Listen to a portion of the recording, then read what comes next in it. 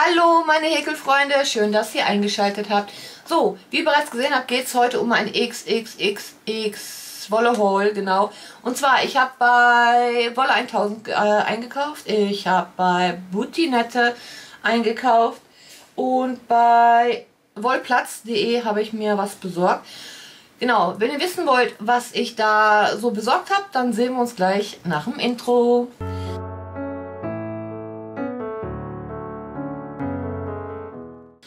Meine Lieben, ich habe hier gerade schon gesagt, es geht heute um ein XXXXL Wolle Haul. Und zwar fangen wir einfach mal an. Ich brauche euch ja nicht schon wieder erzählen, wo ich überall Wolle eingekauft habe, wie bekloppt. Wir fangen mit wollplatz.de an. Und zwar, da gab es vor kurzem eine Geschichte, gibt es auch immer noch. Ich habe mal zwei, hatte ich mir bestellt, so Taschen, Hand, Strandtaschen sozusagen. Strand-Sommertaschen wollte ich häkeln. Ne? Eine bin ich schon dran. Ich wollte euch trotzdem das Set mal zeigen. Und zwar ist das hier Tüte drin. Das bekommt ihr auch noch. Ich werde euch den Preis und den Link werde ich euch unten in der unten rein in die Infobox packen. Genau. Ähm, wie gesagt, ich bin ja eine Geschichte, bin ich schon am machen. Das ist eine kleinere Tasche. Das ist die Tasche, die ich euch jetzt zeige, jetzt ein bisschen größer. Ist aber ähnlich. Am Anfang hat es mich ein bisschen verwirrt. Ich habe auch ein bisschen was abgeändert beim Häkeln, weil ich die Beschreibung doch ein bisschen umständlich fand. Genau. Ähm, ja. Hier ist die Anleitung. Die werde ich euch natürlich nicht zeigen, sonst kriege ich Ärger. Ne? Auf jeden Fall, die Tasche kommt ähm, mit Anleitung. Ist eine holländische Anleitung, ist aber auch auf Deutsch. Ne? Holländisch und Deutsch einmal äh, drauf. Ist ein bisschen umständlich erst, aber auch die Beschreibung von, von, dem, ähm, von der Tasche, wie man das äh, häkeln soll, war für mich jetzt wirklich ein bisschen umständlich. Jetzt weiß ich einigermaßen, ich habe es wie gesagt ein bisschen abgeändert am Anfang. Ähm, jetzt mittlerweile weiß ich, jetzt nach ein paar Reihen weiß ich, wie das ungefähr zu lesen ist. Ne? Aber es geht. Den Preis habe ich euch eingeblendet von dieser Geschichte. In diesem Set enthalten ist die Anleitung, Häkelanleitung, dann die verschiedenen Wollen. Die Wolle kann man auch nachkaufen. Ich finde die echt super. Ist ein Baumwollgarn, 100% Cotton. Sind immer äh, 50 Gramm, 50 Gramm, 125 äh, Meter Lauflänge. Äh, ich muss echt sagen, ganz tolles Garn für die Taschen, finde ich die echt super. Kann ich euch echt nur empfehlen. Wie gesagt, ich habe hier schon eine angefangen. In dem Set habt ihr die ganzen Wolle drin. Die Tasche wird zweifederig, also oder mehrfederig äh, äh, gehäkelt. Ne? Die genaue Bezeichnung werde ich euch mal von der Tasche auch einblenden, wie sich äh, dieses, die Häkelschrift ähm, nennt. Genau. Verschiedene Farben drin. Wie gesagt, schon mal vier. Gibt unterschiedliche Größen. Ne? Und unterschiedliche Farben auch. Die Taschen kann man in, in verschiedenen Farben, dieses Muster kann man in verschiedenen Farben häkeln. Ich habe jetzt hier richtig kunterbunt wird meine Tasche. Und jede Menge Knäule drin. Jede Menge Knäule. Komplett Set, ne? Hier, wir gehen gleich noch mal schnell durch. Sage ich euch die Farben. Natürlich, die Häkelnadel ist da nicht drin, ne? Auch nochmal. Hm, sind doch viele. Sind deutlich mehr wie bei der kleinen Tasche. Oh, sieht richtig schön bunt. Freue ich mich. Schönes Strand-Sommertasche jetzt, ne? So, ist leer. Wir fangen einfach mal an nochmal. Ich werde euch das einfach nur mal zeigen. Wie gesagt, 50 Gramm ist jeder Knäuel, 125 Meter. Ähm, Waschbau 40 Grad. Ich muss echt sagen, ganz tolle Qualität. Für Taschen ist die echt optimal. Ja. So, das ist jetzt hier die Farbe nochmal. Dann haben wir nochmal hier dieses, die, ne? Davon gibt es glaube ich zwei. Zweimal dieses rosa. Äh, pink. Dann zweimal gelb. Zweimal gelb drin. Zwei verschiedene Blautöne. Dieses, dieses hier, Aprikot, Orange, dieses Lindgrün, dann dieses Grün, Eisgrün, zweimal Braun, Rot und Weiß. Wie gesagt, ist so eine Tasche. Ich kann euch die Tasche einmal zeigen, aber die Häkelanschrift natürlich nicht. wird so eine Tasche. Ne? Wie gesagt, gibt die in verschiedenen Farben, Farbausführungen, könnt ihr die bestellen. So soll der Beutel mal werden. Genau. Wie gesagt, Preis habe ich eingeblendet. Geht eigentlich. Finde ich nicht schlecht. Wie gesagt, die Beschreibung finde ich ein bisschen schwierig. Äh, ja. Ach, hier ist noch einer. Bevor ich euch das unterschlag. Ja, ich bin sofort wieder bei euch. Dann machen wir weiter. Ich finde es nicht schlecht. Alles drin, ne? Genau. Machen wir einfach weiter. So. Und das nächste Projekt, was ich mit euch zusammen machen werde, oder was ich euch zeigen werde, wird eine Tasche sein, auch für, für den Sommer, habe ich mir so gesagt. Schauen wir mal, ich habe jetzt mal schwarz besorgt, Wolle in schwarz. Ne? Das ist eine Wolle äh, bei Continette. Äh, acht Knäuel, ich hoffe, dass ich damit auskomme, wenn nicht, muss ich nachbestellen. Ist eine äh, Wolle, äh, wie hieß das jetzt genau? Eine Wolle für alles irgendwie. Wie hieß es jetzt nicht, aber ich weiß jetzt, was das die Beschreibung weiß ich jetzt nicht ganz genau. Ich muss sagen, nicht schlecht. Kann ich mir super vorstellen. Ähm, ich zeige euch erstmal die Wolle. So eine. Hätte ich nicht gedacht. Auf jeden Fall kann man damit echt super Sachen zaubern. Ähm, Kissen, Pulli, Handtaschen, wie gesagt. Ne? Also es ist eine Wolle für alles eigentlich. Ihr könnt auch die Figürchen damit äh, äh, äh häkeln. Genau. Ich wollte mal eben gucken, was das genau ist für Wolle. 55% Baumwolle und 75% äh, Polyacryl. Ne? Auf 1 bügelbar. 50 Gramm, 85 Meter ist nicht so viel. Aber ich muss sagen, ich bin echt gespannt. Die wird sich gut verarbeiten lassen. Wirklich gut verarbeiten lassen. Ja, das ist gut. Finde ich gut. Auf jeden Fall wird daraus eine Handtasche gemacht. Ein Beutel, ich denke mal ein Beutel wird das. Ich weiß das noch nicht ganz genau. Auf jeden Fall habe ich mir acht Stück geholt. 2,50 Euro. Den Preis werde ich euch mal einblenden. Gibt es auch in verschiedenen Farben. Die Wolle. Finde ich gar nicht mal so verkehrt. Bin gespannt, wie sie sich verarbeiten lässt. Macht einen guten Eindruck auf jeden Fall. Genau. Ja. So. Dann habe ich erstmal, genau, da wollte ich ja Perlen. Ich wollte ja Perlen mit einarbeiten bei dem Beutel. Dann habe ich bei Amazon, habe ich gesehen, ist ja immer so schwierig, ist, ist ja immer so eine schwierige Sache, äh, Perlen online zu kaufen. Man muss ja, weiß, findet die Größe nicht so, wisst ihr, wie groß die ist und die Nadel dadurch äh, passt, ne? Genau. Ich habe jetzt Perlen gefunden. Ich bin wirklich positiv überrascht bei Amazon für 11 Euro, 12 Euro. Wie gesagt, die Angebote sind ja immer unterschiedlich. Dann kriegt man ja öfters äh, bei Amazon das gleiche Produkt für unterschiedliche Preise und hin und her. Es sind jetzt 400 Perlen. 400 Perlen werde ich nicht alle brauchen. Auf jeden Fall, ich bin echt von diesen Perlen positiv überrascht. Ich werde euch das einmal zeigen. Ich hole mal die weißen raus, kann man dann besser sehen, wie groß die Öffnung ist. Da passt gut die äh, Häkelnadel durch. Ne? Muss ich echt sagen. Schaut mal. Gut, ne? Und so sind die alle, ne? Die Größen von den äh, Perlchen. Das Loch. Genau. Doch, ich habe erst gedacht, die sind zu klein, aber ich finde, das ist hier genau die richtige Größe. Ja. 400 Perlen, 11 Euro, da, damit kann man schon was anfangen. Ne? Zwei Handtaschen, kommt drauf an, wie viel äh, Perlen ihr einsetzen wollt. Ne? Ja. Das war von Amazon. Jetzt bin ich schon wieder meinem Pulli hängen geblieben hier. Schön. So, dann habe ich mir mal geholt, ich weiß noch nicht, ob ich die benutzen werde, weiß ich noch nicht. Dafür hatte ich auch die Holzperlen geholt. Wir haben hier äh, Taschengriffe, schwarz. Entweder macht ihr eine große Tasche oder man kann auch, wie gesagt, bei dem Beutel auch ein Riechchen, kann man eine einsetzen. Da kann man schon wieder zwei Handtaschen rausmachen, wie gesagt, eine oder zwei benutzen. Ne? Ähm, ja, fand ich jetzt nicht schlecht. Das sieht gut aus, finde ich. Ne? Ja. Schauen wir mal, ob ich das einsetze oder selbst einen Bügel mache, weiß ich noch nicht. In Griffen. Dann habe ich Negan. Negan habe ich geholt, in schwarz nochmal.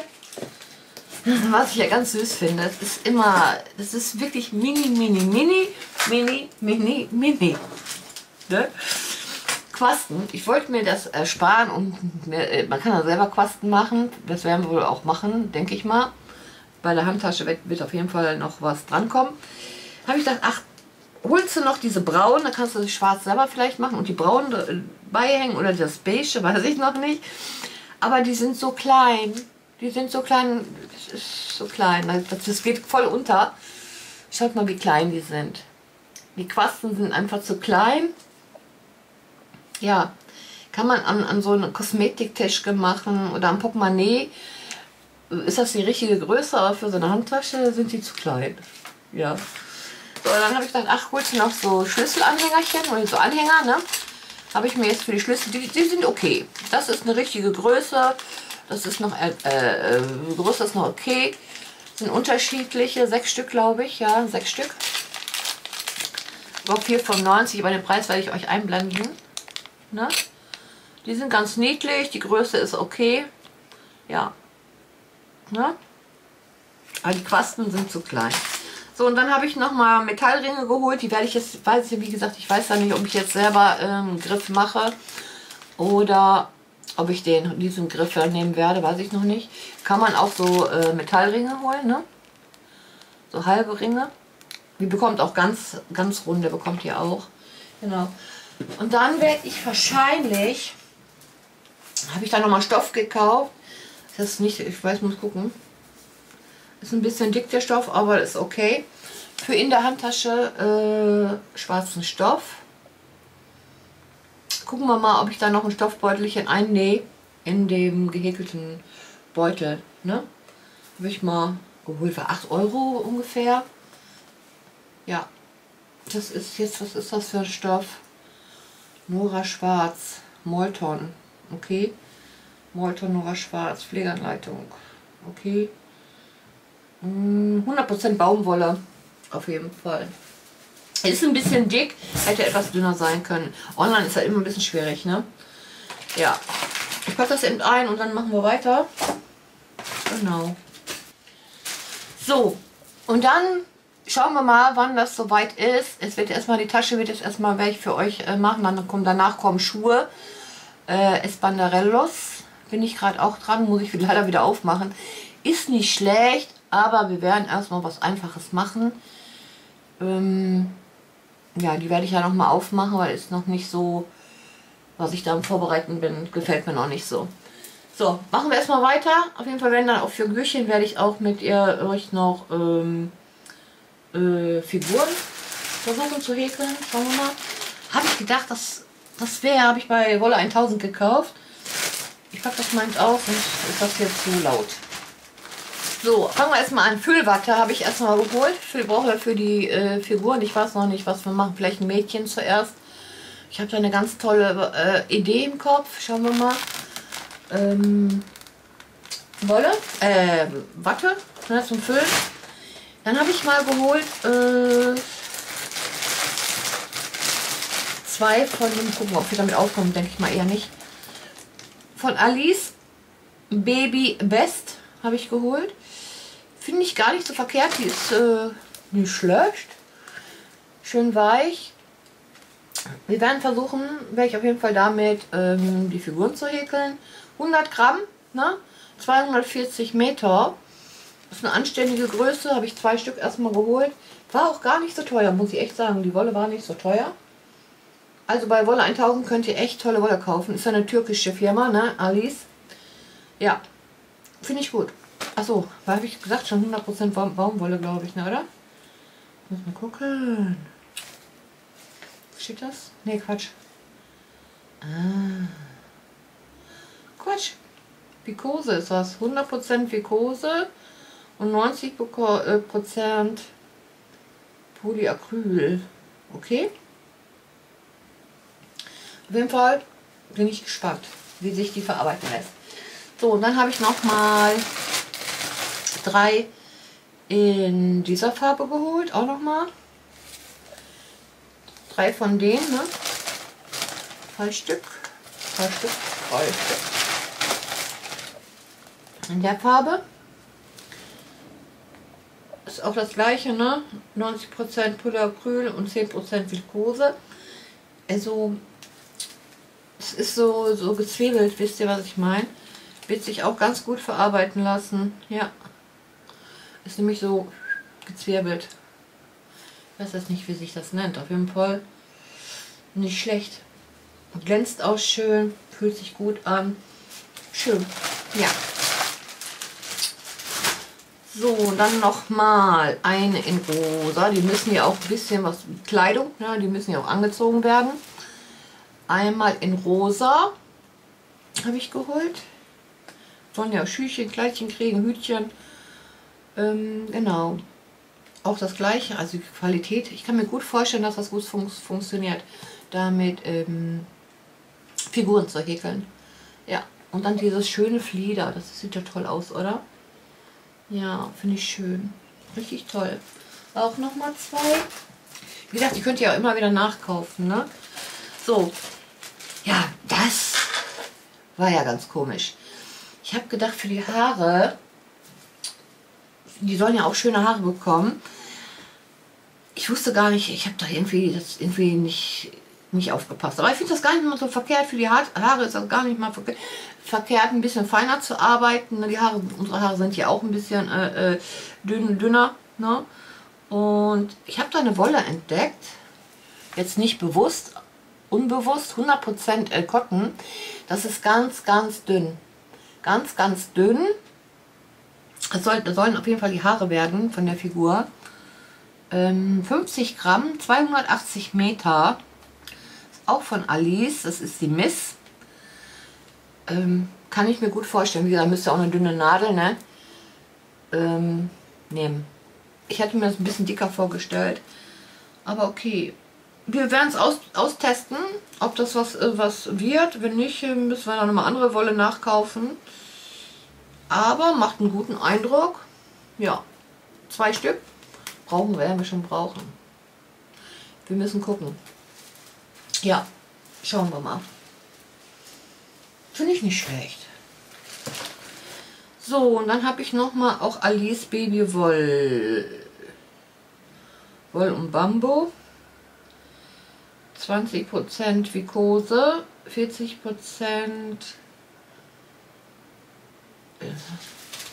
ja 40% Woll. Lana, Leine, okay, Leine, Leinen. 40% Acryl. Okay, und 20% Vikose. Ja, so, so, ne? Als für die Kleidung habe ich gedacht, das soll gucken. Zwei Stück mal geholt, so viel werden wir nicht brauchen, ne?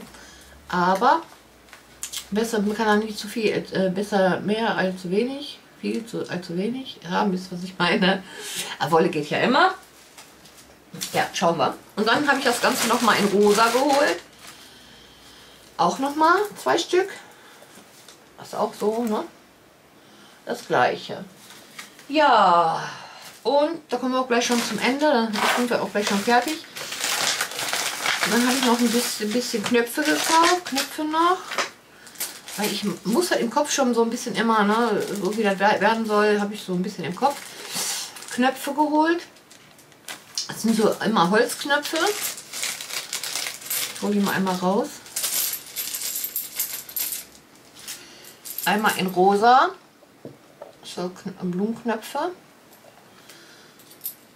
Da hätten etwas kleiner sein können. Müssen wir mal gucken. Und dann in lila. Und dann habe ich noch mal diese Blümchen. Aber wie gesagt, äh, nochmal anderes Thema. Bei, bei, wie war das nochmal? Ah, bei Teddy, ich glaube, ich, bei Teddy kriegt man ja auch viel Bastelbedarf. Na, unter anderem auch Knöpfe. In, in so Knöpfe-Mischungen äh, sind verschiedene drin, große, kleine. Ne? Die kann ich euch echt, echt empfehlen. Kosten nur 3 Euro. Ist ein ganzer Beutel, ein ganzer, ganzer Karton für 3 Euro. Fall hat man da schon eine große Auswahl. Da bekommt ihr auf jeden Fall das, was ihr sucht. Weil äh, Teddy hat echt viel Bastelmaterial. Da werdet ihr immer fündig, ob Perlen sind oder so. ne? Da solltet ihr mal auf jeden Fall nachschauen. Ja, wie gesagt, das war es jetzt. ich bin gespannt, wie jetzt, wie die Tasche wird. Ich werde es versuchen, so schnell wie möglich umzusetzen für euch. Genau. Und danach werden diese äh, Mokka-Schuhe kommen. Espandarellos, genau, Espandarellos. Das werde ich nochmal aufmachen für euch. Äh, nochmal noch mal neu. Das gefällt mir noch nicht so. Obwohl, das ist nicht schlecht, aber äh, ich werde da nochmal ein bisschen was ändern. Ja, das wird erstmal das nächste sein. Wie gesagt, als nächstes kommt jetzt erstmal die Tasche. Ja. So, meine Lieben, das war's jetzt. Das war jetzt der XXXL Haul. Wir sind jetzt damit durch. Ich hoffe, es hat euch ein bisschen Spaß gemacht zuzuschauen. Ihr habt für euch doch eine neue Wolle entdeckt, die ihr vielleicht auch mal testen möchtet. Genau, die Links werde ich euch unten in, unten in der Infobox packen. Genau. So, das nächste Projekt werde ich für euch jetzt vorbereiten. Ich hoffe, das wird was. Ne? Werde ich die, das wird jetzt die Tasche werden. Genau. So, meine Lieben, ich werde mich jetzt verabschieden. Natürlich dürft ihr mich gerne abonnieren. Natürlich würde ich mich über ein Abo freuen, dass wir zusammen gewachsen. Genau. Und ja.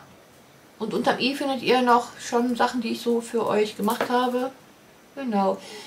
So, meine Lieben, Dankeschön fürs Reinschauen, Zuschauen, dran, dann passt auf euch auf, achtet auf euch, achtet auf eure Mitmenschen. Wir sehen uns bis nächste Mal. Ciao.